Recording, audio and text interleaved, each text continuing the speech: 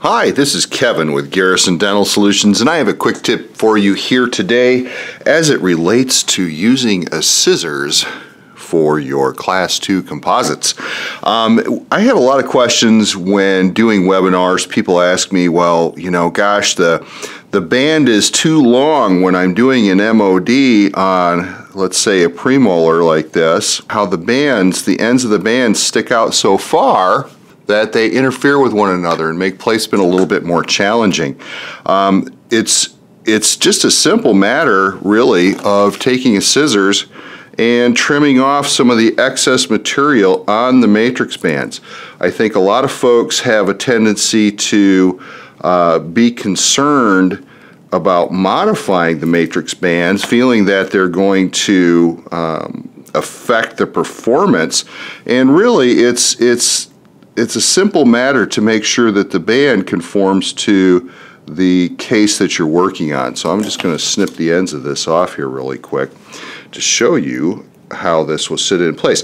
Now certainly you don't want to snip off so much that you're leaving a corner of the restoration or the uh, preparation uncovered, but uh, really just a quick snip and now these things are not interfering with one another and are out of the way uh, much, much better. So quick snip is all you need to do there. Um, the same goes for if you're doing a back-to-back -back restoration. Let me grab a couple more bands. Um, if you're using the Composi-Tight 3D Fusion matrix bands with the placement tabs, and you've got a back-to-back -back situation, course, that's going to put the tabs kind of in the way, right in the middle of your uh, marginal ridge area of the two teeth that you're trying to work on.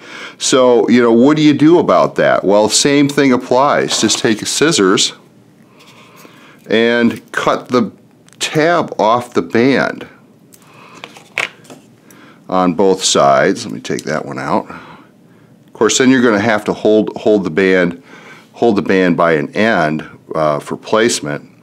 But if you just trim that little tab off of there, uh, it's the one time where they're really kind of in the way, and there's no place to go with them because you're trying to uh, do it back to back like that. You have to have a sharp scissors, a good pair of scissors, because the matrix material is so thin. So um, there we go. So we just trim that off of there.